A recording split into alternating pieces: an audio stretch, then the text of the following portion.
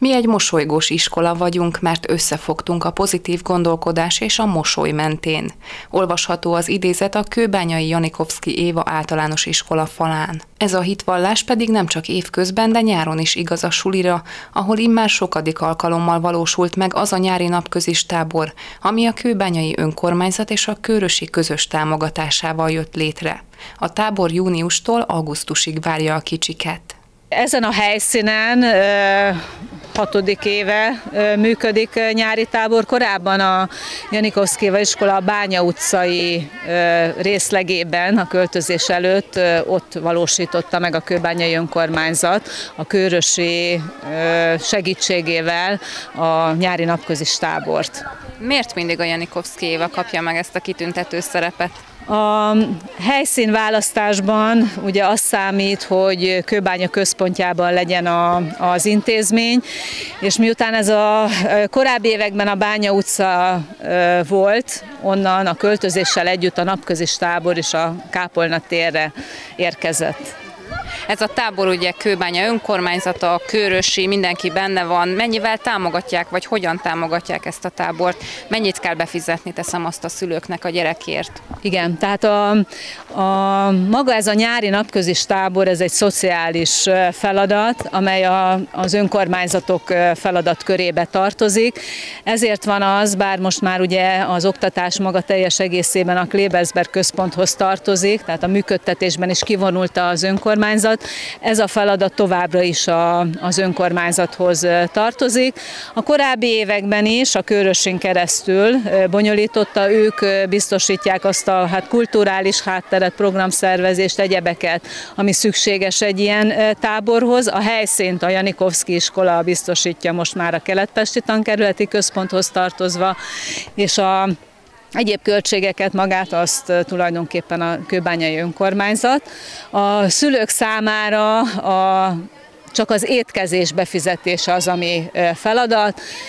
Háromszor étkezést kapnak a gyerekek, reggelit, ebédet és uzsonnát, és akinek valamilyen kedvezménye van, tehát például ingyenesen étkezik évközben is az iskolában, mert rendszeres gyermekvédelmi támogatása van, vagy 50 os mert három gyerek, vagy három vagy több gyerek van a családban, ők a kedvezményes árat fizetik. Mettől meddig jöhetnek ide a táborba a gyerekek, és mondjuk a mai napon hányan vannak itt? Június utolsó hetétől indul a tábor, és augusztus harmadik hetéig, vagy igen, harmadik hetéig tart. A jelenlegi létszám a mai az 103, a múlt héten 110-120 közötti létszámmal üzemeltünk. Hogy alakul egyébként a tábornak a tagszáma, a létszáma? Mindenki jöhet mindig akkor, amikor ő szeretné? Fontos ugye, hogy vagy kőbányai iskolába járjon, vagy kőbányai lakcímmel rendelkezzen az, aki ide beiratkozik, és előzetesen hát be kell jelentkezni mindig egy héttel előre. Hát most a múlt héthez képest is jelentős változások voltak, tehát sok új gyerek is érkezett. Ez nyilván attól függ, hogy a szülők hogyan tudják megoldani a gyerekek nyári elhelyezését. Mennyire nehéz a gyerekekkel, mire kell odafigyelni velük kapcsolatban? Teszem azt nyomkodják, vagy nyomkodnák egész nap a telefonjukat, erre mennyire tudnak odafigyelni? Most nem érezzük ekkora problémának a telefont, a tavalyi évben itt a kollégáim jelezték, hogy sokkal nagyobb probléma van. Egyébként próbálunk olyan programokat szervezni, ami érdekli őket, többször kivisszük őket a intézmény területéről, tehát nem töltik itt az egész hetet. A hétfő ez egy ilyen nap, mert a szervezés szempontjából, az új gyerekek szempontjából fontos, hogy, hogy itt legyünk a, a belső helyszínen, de holnap is Ecserre mennek a gyerekek, azt követően szerdán van a nagy kirándulásunk, amikor egy vadasparkot látogatnak meg, és egyébként is hajókirándulásunk, kirándulásra vittük őket, illetve most pénteken a vizes VB-re is lehet egy csoportot vinnünk, ennek nagyon nagy sikere van a gyerekek körében. Ö, azt mondta, hogy ugye már nem először csinálnak önök tábor, tehát már volt ilyenben részük, mind a kollégáinak, mind önnek. Mennyiben változott az elmúlt időkhöz képest mondjuk az idei tábor? Tehát hogyan tudják még jobban lefoglalni a gyerekeket, mikre kell odafigyelni, mi érdekli őket?